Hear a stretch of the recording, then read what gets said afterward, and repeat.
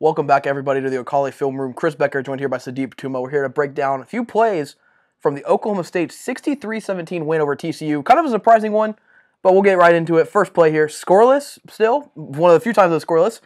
5.42 left in the first quarter, second and 10 for OSU.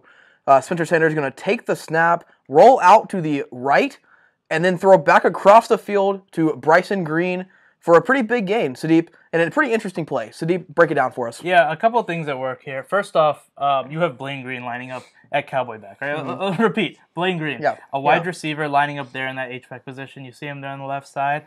Um, with no Logan Carter on this play, a lot of a lot of plays this game you saw Logan Carter and Blaine Green, Mm-hmm. but here's just the play design is superb.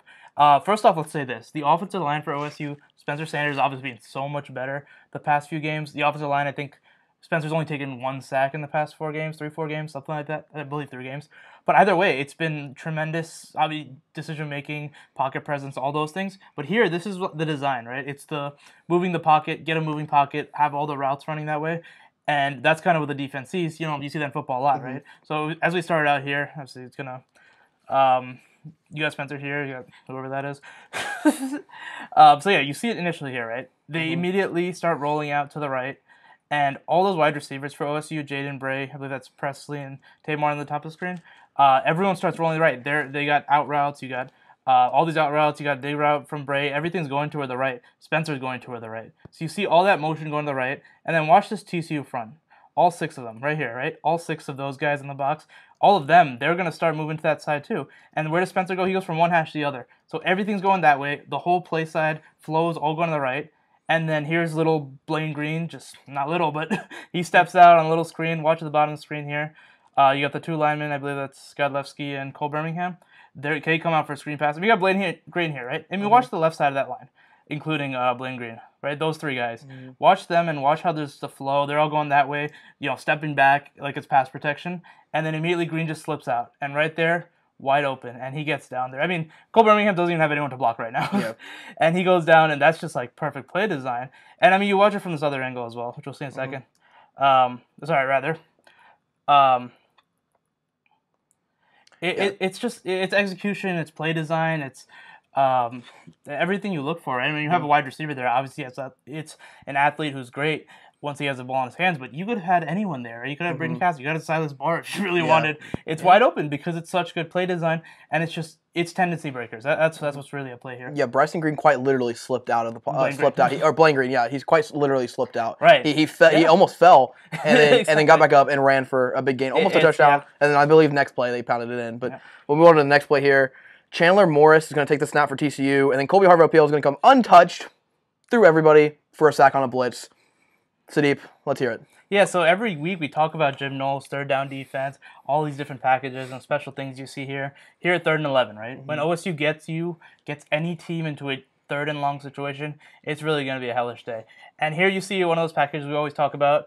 Um, you got three defensive linemen, but instead of just a standard three-man front, well, semi-standard with Ty Lacy in the middle and you know Brock Martin, Collin Oliver on either side, he's stacking Brock Martin and Collin Oliver on the left side. You see a big gap because you know they're not going to run the ball. You got Tyler Lacy playing nose tackle of sorts, and then you got the two middle linebackers who have piled up some you know good amount of sacks this year uh, with Devin Harper and Malcolm Rodriguez. So when you're TCU, you see all this stack. You you expect stunts. You're expecting all these different things that Jim Knowles is going to do to you because like you see how close those linemen are on either mm-hmm. side, right? They're gonna do something or another, and so you're you're accounting for that, right? Five linemen, five defensive linemen, five offensive linemen, and you got the back to chip right on one of those guys. So they come down, but it's it's that last second, right? Watch that spin down from Kolby Harvell. As the seconds are taken down, he times it well, gets in that middle, and then he comes straight. And watch three, the running back for TCU. He, I mean, I don't know if this is you know protection deciding. Okay, he's gonna go block on Malcolm Rodriguez, Devin Harper on the tackle, help out there because weak or whatever. But for whatever reason, he just leaves Kolby Harvell-Peel, and it's a lot to account for. So I get it, right? I mean, he's coming straight down, and I mean, once he's coming, he's got a lot of pursuit speed, and Kolby Harvell-Peel's like a missile mm-hmm. coming down. You see it here, right? I mean, you got you see the gap between Tyler Lacy and Devin Harper, Tyler Lacy and Collin Oliver on one side, and and so the linemen have to slide, right? They have to account for those, and by the time you do that, it's way too late. And right there, Kolby Harvell's wide open. Obviously, Diamarcardo, uh, Diamarcardo, or um, should have been the one uh, picking up Kolby Harvell-Peel, but instead he's off helping, and he has to too. Also, I think was that Malcolm on the edge. Mhm. Uh, they'll tackle whiffs on that, so he has to go help and pick up chip there. And if he doesn't, Malcolm gets there. If he picks up Kolby, Malcolm Malcolm Right. gets there. Right? It- It's one of those things. Right. When Kolby Harvey Harvell has you in your sights, has has you in his sights, hmm probably not going to end well for you. He's pretty pretty surefire tackler, really good hips, Right. and can can bring you down pretty quick. And he did that that to Chandler Morris, who at the time was four for four, and TCU was driving. So Yeah. gets him off the field and gets that offense back out there. We'll move on to this next. We'll watch this one more time. And you watch it, right? Devin Harper even does a good job Mhm. when him and Malcolm watch him on the, that side, right? They're so close together, and as soon as the snap goes, Devin Harper starts stepping toward the middle. Malcolm Yep. goes outside, and you open up that gap. And right there, yeah, he's on you. Yep. Move on to this next play here. Spencer, uh, still in the first quarter, a little a little over a minute left. First and ten for the Cowboys, seven to three. Uh, they're gonna this play. They're gonna take Spencer Sanders will take the snap, hand it off to Jaylen Warren, and Jaylen Warren will kind of weave his way in and out of some defenders for a pretty pretty sizable gain. Sudeep, what made this play successful? Yeah, you know, we talk about Jaylen Warren almost week in, week out because of the great things he does on the field. But and you know, the offensive line playing a lot better. But here, the offensive line obviously had an excellent game, right? And all three, four running backs had great games. Mhm. But a reason, a big reason I want to highlight this one is because you're going to see the cutback, the vision, and the one cut ability of Jaylen Warren. You saw a lot of these with Dominic Richardson, Dezmon Jackson as well. But here, you're going to see it pretty evidently, right? So it's a zone to the left, inside zone split. Logan Carter is coming across the formation. So Spencer gets it, hands it off to Warren, and Warren's going to that left side, right? It's almost Mhm. like that. The, you obviously see it. It's all going to the strong side, that left side of the formation. That's the way Jaylen Warren is running. But here it takes a big step in, and now he's wide open, right? Yep. That's that's vision. That's also one cut ability. It's not an easy cut, right? Mhm. And zone running is an art. Like that's the thing here. Like they they ran I think almost all zone running plays in this game, uh, and usually they mix it up with some power runs and some of those. But Jaylen Warren, his vision is incredible. And when you're you're you're running those zone runs, it's on the running back a lot of times to find that hole. And usually it's you know bouncing outside or finding within those tackles guards. But instead you sometimes find that cutback lane. And TCU they're just overcommitting that side. The linebackers don't do a good job of anything, stay in their gaps, and so you got this gigantic line. And obviously the you know Right. you got this gigantic hole. And the line obviously does an incredible job blocking. And so Jaylen Warren gets down and then he shows the burst in the open field and protects himself. And on the second angle, you'll really see like from the uh, Lion side, right? Go watch this. You got all four of those guys going there. You got a huge hole here. Dee Winters, number 13, doesn't fill that because they've seen this movie before. They Yeah. see Jaylen Warren going through that side, but it's the vision, right? The the seeing that the nothing's there and cutting it and then making a guy miss, Yeah. which is just what he does uh, constantly and what he's been doing. And we're gonna see another example of that in just a second. Uh, here, right near the goal line. Obviously, this is more subtle, but you're gonna see some similar things where it's a, that zone run to the left, right? And Dee Winters this time shoots the gap, incredible linebacker, gets right in there. This should be a loss of minus three, right? Loss Right. of three yards. Instead, makes the two, three jump cuts and gets there, right? Here, vision, right side. And it's wide open. It looks easy after the play, but look at this, right? You're going left side. Imagine this. This mm-hmm. whole left side. This is what Jaylen Warren's looking. This is where he's supposed to be running. But instead, he has, first off, the ability to make a guy miss in the backfield. And then watch these jump cuts. Subtle, right? Subtle. I mean, Yeah. that's just, that's beautiful. Yeah, his jump cuts are uh, to the elite level, and his Mhm. vision, his vision in this game especially Yeah. was was elite. He, there were numerous times where he just one, two jump cut and then gone. Exactly, and, And then- and it's like it's like that, right? You're blocking on one side, and you just understand. I mean, this is what what the not Mhm. just an offensive line blocking, but what the running back gives you. Right, it's crazy to think that he was run- running back probably number four, Right, arguably coming yeah. into the year. Now he's easily number one with his elite vision. Who's probably gonna yeah. he's probably gonna get signed to an NFL roster if, Sure. if I had. I mean, if I And- and then imagine you, it. Yeah, I mean, you see that just that cutback, that subtle ability, and then he's in the he's in the end zone. There's not a single person touching him. All right, so this play here, uh, Spencer Sanders is going to take the snap. He's going to find Blaine Green, who again lined up a Cowboy back for a touchdown. But we're going to put a little audible this time. I think I'm going to break this one down. So we got Tay Martin and Brennan Presley stacked down low.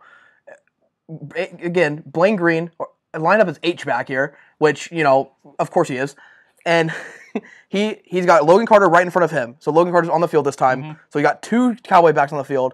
Normally it'll be Logan Carter, Silas Barr, or Logan Carter, Braden Cassidy. Instead, it's Blaine Green, and he's going to go out. He's going to hit a little, sl- a long, a pretty long slant here, and sorry, and then the entire time they're going to sell the zone run again. What we've been, what you've been talking about this whole time. They're going to sell the zone run, and TCU bites, and you have no, you only have, you have no safeties deep except for this one guy who lined up over Tay and Brennan, and he's going to come in too, and this whole right side, the right side of the field is going to be open, one on one coverage. Blaine versus his corner. He's going to beat his corner eas like pretty easily. And once he once he misses that once the corner misses that tackle, Blaine Green's into the end zone wide open. But again, the biggest part of this was the, the fact he's on H back. He beats his corner, and that's what he brings. is Lining up at H back is he's going to bring the speed that a normal cowboy back Right. would not. and then they don't have any safeties deep, and Spencer sees that, pulls it, finds him on the slant, and goes in for the end zone. Yeah, you see here, right? He was able to spread out the defense this whole time, and most importantly, Spencer was able to step up in the pocket, something he really wasn't able to do most of last season. He hadn't Yeah. really shown a great pocket awareness his whole career, really. But these last four games that you were talking about, he's really improved. You can see the maturity start going. Logan Carter looking like he's struggling to run a little bit, but um, but you see him step up in the pocket. He's gonna the Danny Godlewski's gonna ha- have one guy, but then move to another guy and miss on him, and he's gonna step up in the pocket instead of you know running or scampering or getting tr- getting worried or whatever and getting nervous.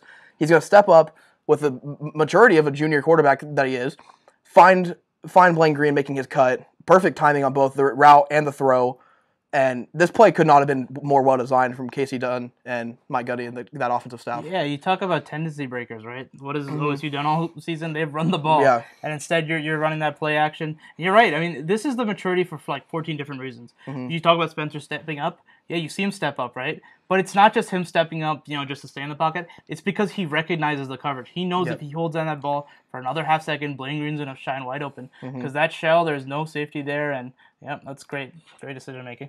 Yeah, and you know it's it's more. This is not very often. OSU's been throwing the deep ball, and this wasn't a deep ball per se. It wasn't you know streak route or anything, but it was it was farther down the field than they normally throw. They normally make their living on these short throws after the run, like that bubble screen you saw. A lot of screen passes, a lot of short like quick dig routes and stuff like that. But you know you go a little deeper on a third and four play nonetheless late in the first half. And you're going to extend the lead to 28 to 3 before halftime, which is even more important. That you know you really spread out this lead before it even gets going. Right, yeah. So early on, we saw so many um, jump balls thrown, which Mm-hmm. obviously are great, and you should be when you're throwing Yeah. to Tay Martin and you know Bryson Gray and these guys. But Gundy talked about early on, right? The lack of just them not hitting on their concepts. Mm-hmm. When you're talking about drives and spots and flood and whatever, they're they weren't executing it properly. A lot of that's youth and so on.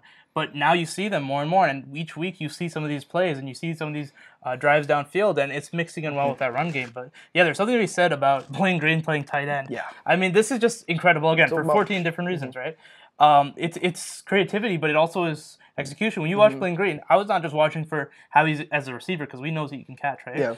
What it is is the blocking. He's playing there. He's playing tight end, and he's making those blocks, and he's executing them all. He's not. Mm-hmm. He wasn't. At least I didn't see a single block where he kind of screwed up, um, and that's great, right? Because Yeah. there's a risk with putting in Yeah, not just exactly, a wide yeah. receiver, but a But, young one. Yeah, yeah, and it helps that you're carving him out a spot for all these young receivers because you have Jaden Bray, Mm-hmm. Who's too small to play H back. You have his brother. You have Blaine's brother Bryson, who's been really well as a ri- uh, receiver and kind of needs to step into that role. Mm-hmm. You got Brennan Presley at slaw, who's most definitely too small to play H back, and then Tay Martin, who's obviously a receiver one. So you got all the, and Rashod Owens, Yeah. and you're missing all these guys. You know, you have all these guys, and you're finding roles. And with Braden Cassidy down, they need another guy who can catch the ball to step in, unlike Silas Barr. So you have that. Right, and it's just like such a. Um, it's like you never think about starting a wide receiver Mm-hmm. at tight end, right? That's just not, not a thought that ever crosses your mind. But it's the fact that Mike Gundy and this coaching staff can adapt. When you lose that Braden Cassidy, you bring back a Logan Carter who's probably not 100%. Mm-hmm. Right. And you're able to move a guy within a week who probably, I mean, I don't know if he ever practiced that prior to this because we're not in there, but I mean, you you can't imagine that he has too much experience there, but it's the ability to have him learn the playbook so quickly, and which obviously speaks to his um, just knowledge as well, and the ability to execute it there. I mean, I don't know if you ever played tight end in high school. I would assume not. Probably not, no. But yeah, it's like it's like some. It's not just that. It's it's the routes he runs when you run as a wide receiver versus a tight end. There's differences, and nuances. There's all these different things, and it's it's you're you're making do. It's really like a next Mm-hmm. next man up mentality, right? When you're losing guys and you're you're making do however you can. Yeah, well, all in all, OSU wins this game pretty handily, 63-17 again. Moves to 9-1. They got Texas Tech this week, which I'm sure will bring some great plays. In all, pretty well-called game from Kasey Dunn. Uh, pretty clean, clean game from OSU. But we'll be back next week. Thank you guys for tuning in. It's been Chris Becker, Sudeep Tumma, the O'Colly Film Room.